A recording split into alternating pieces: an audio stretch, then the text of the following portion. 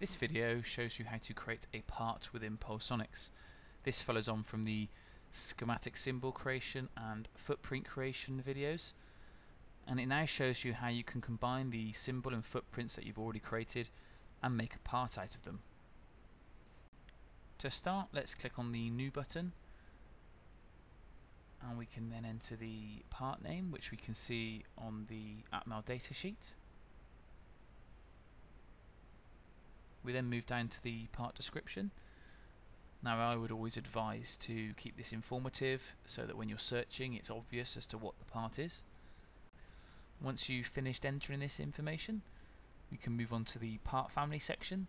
This is an optional field which you can choose to type in a category which the Pulsonix will then use to filter the part. So if I put EEPROM this part will then go into my EEPROM category. Can then enter the name stem and also the pin count, which will be 8. Now we can type in the name of the footprint we created earlier, which will be SOIC-8, and then move down to the symbols section and enter the pin count, which will be 6 because we're having two ungated pins.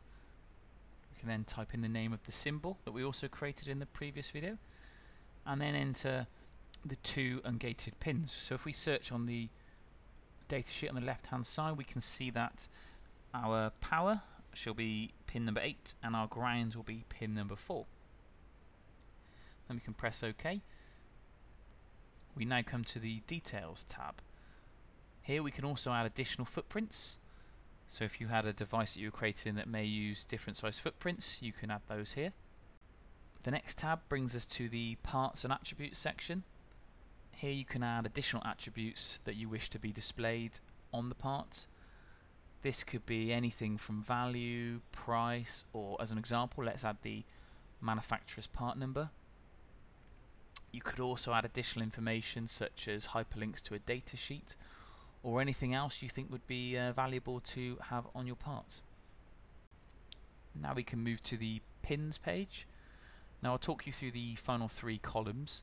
Starting with net names, this is where you put the name of the net for that pin.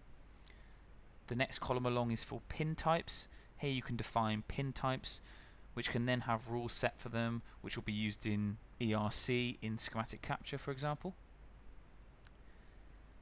Finally, we can look at the pin network column. Now, a pin network defines one or more components which must be connected to the pin when the part is used in the design. The network could therefore be used for bypass capacitors or termination resistors, for example. Now let's move on to the gates page, where we can define the logic names for our parts. You can do this by typing them in, or you could copy and paste them from an external source such as Excel. Now once we've completed this we can then move to the final tab which is the associated parts section. Here you can associate parts that you don't want to be included in the design but you want to be included in the bill of materials. For example if we are creating a TO20 we might also wish to include the heatsink, nuts and bolts that would be present in this part when it comes to manufacture. Now let's save the part to our library and that concludes the three-part series of how to create parts within Pulsonix. Thank you very much for watching.